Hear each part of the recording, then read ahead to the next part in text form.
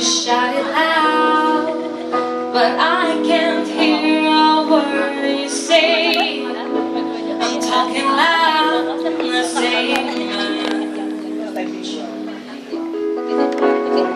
I'm criticizing.